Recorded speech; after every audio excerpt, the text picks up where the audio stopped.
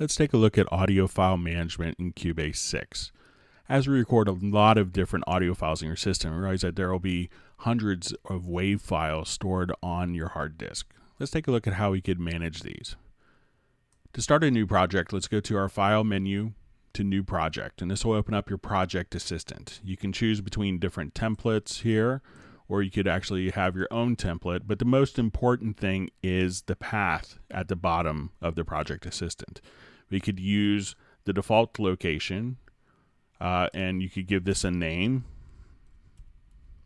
Or you could actually choose to prompt for a file location. This is handy if you want to record all of your audio files to a secondary dedicated audio drive. Um, so it's really important to have each song have a unique folder. So this will make your life much easier. So think of each song or project as having a unique folder. We'll create this and let's add eight audio tracks. So I'll come right over here and let's add, double click here, let's add eight mono tracks. Now, one of the things I like to do when if I'm recording multiple tracks simultaneously is to place them into a folder. So I'm going to have the top track selected by default, hold down the shift key, select the bottom file, all my tracks will be selected, and then I'm going to choose the option after right clicking of move selected tracks to new folder. I'm going to call this folder drums. Now, another very important thing is to name the tracks before you record. Once again, name the tracks before you record and because the actual audio file name will be derived from the track name. So double click in the name field and you type in kick. Hit the tab key and this will actually allow you to name each of the tracks very quickly. It will automatically be selected. And we'll call this Tom 1, Tom 2, Tom 3, and we'll say overhead left, overhead, right.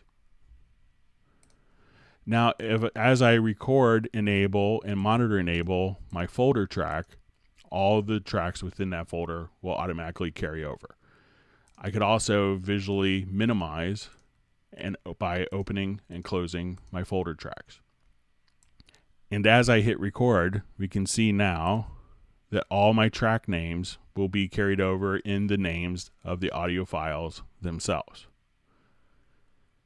Now, let's say if you use the word kick and the producer wanted the audio file to be called bass drum, you could also see the names in the info line here and a lot of the information on the file itself. Uh, if you don't see this info line, click right up here and activate the info line and then click and then you'll see the info line. So let's say the producer wants to use the term bass drum for all file names.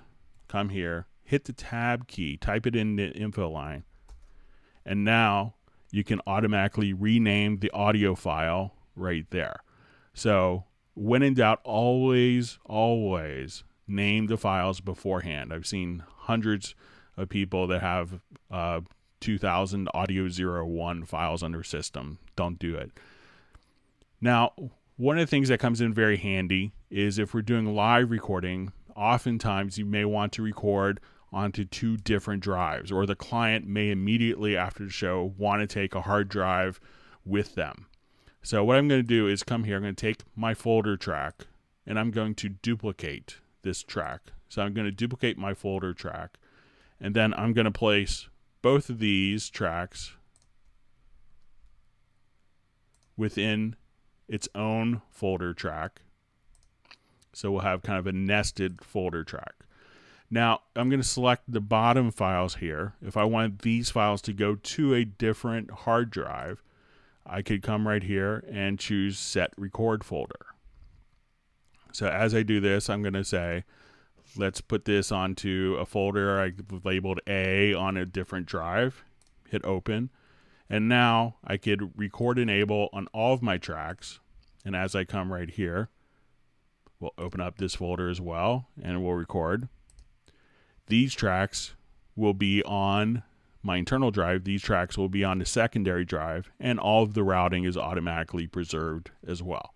My files will actually be organized in my pool. So I could open up my pool window here, view all of my audio files there. Now, if I wanted to import files, I could come right there, click on the import button. I could have this automatically go into my project directory, or I could have it retain its folder position here. So my pool shows me my names, how many times the file was used, the tempo stamp, the signature, as well as the path for the files recorded themselves. If I wanted to get rid of a particular file, I could just drop it right into my trash can. I could do that. Or if I wanted to import that file into my project, I could come right here, open our pool window. Let's choose a file here, a track, go to our pool window. And I'll select my saxophone track that I imported and we could actually insert this into the project at the cursor, the left locator, or the origin. So I can now just insert that file right there. Now, if I've done sample editing on my file, let's say where I've defined regions, and I've added regions, and we'll call this region one, and let's say this is a particular hook or vocal part or part of dialogue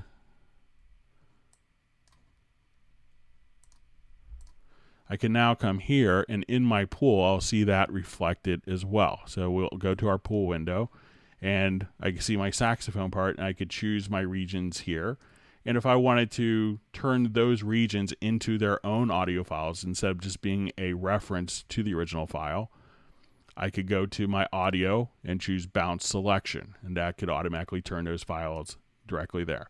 Now, the pool also has some great organization functions because we have the use of folders. Sometimes when we have hundreds and hundreds of different audio files, we could actually come here and we could create a folder. So I could call this my drum folder, and I could have a, a folder for vocals, for guitars. And now I could come here, select my files, and drag these into the folder so that I could organize and have quick access to all of my files.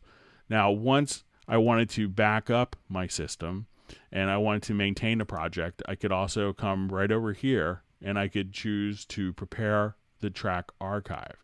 And this would allow you to automatically take all the files and place them into a common folder.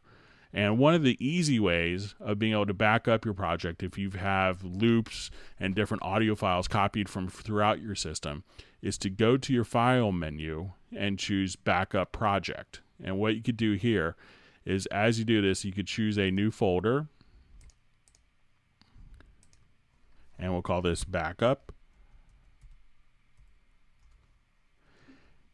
Hit open, and you'll be prompted where you could give it a new file name. So we'll call this drums one and I could actually choose to minimize the audio file. So if I didn't use the entire audio file, but maybe just a couple measures of one take, I could do that.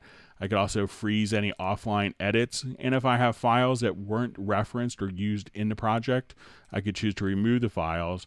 And then this will basically create a new project in just a matter of seconds with all the files so that I could have that and be safe with all my files. So as you can see, using the pool and different tracking methods, it's easy to manage the hundreds of audio files that can be generated in a typical session.